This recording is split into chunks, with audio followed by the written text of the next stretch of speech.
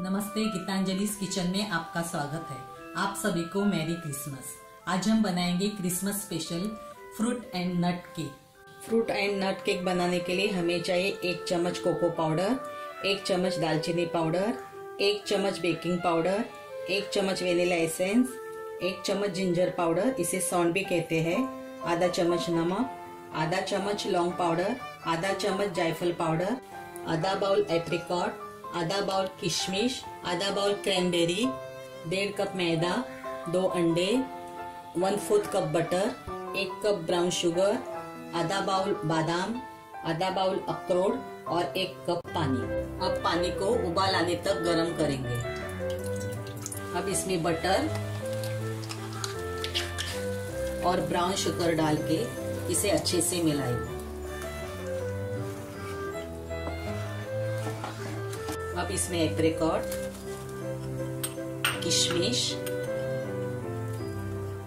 और क्रैनबेरी डालकर 10 मिनट के लिए पकाइए 10 मिनट के बाद गैस को ऑफ़ कीजिए और इसे ठंडा करने के लिए रखिए।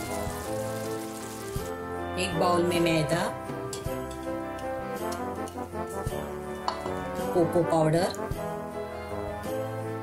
जिंजर पाउडर दालचीनी पाउडर, लौंग पाउडर, जायफल पाउडर, नमक और बेकिंग पाउडर डालकर इसे छान लीजिए।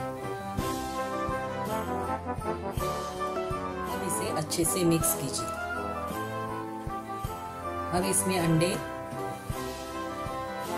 और वेनिला एसेंस डालकर मिलाइए।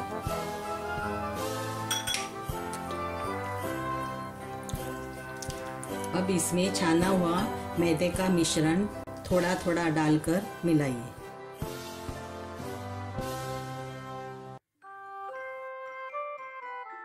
अब इसमें नट्स डालकर मिलाइए। मोल्ड को बटर लगाइए।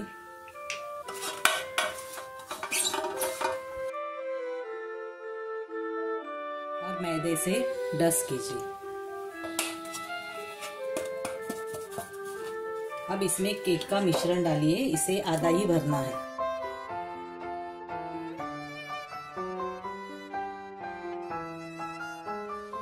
ओवन को 180 डिग्री पर प्रीहीट किया है।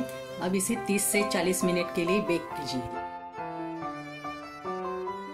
ठंडा होने के बाद इसे मोल्ड से निकालकर स्लाइस में कट कीजिए। तैयार है फ्रूट एंड नट केक। अगर केक पसंद आया हो तो इसे शेयर कीजिए और मेरे चैनल को सब्सक्राइब कीजिए।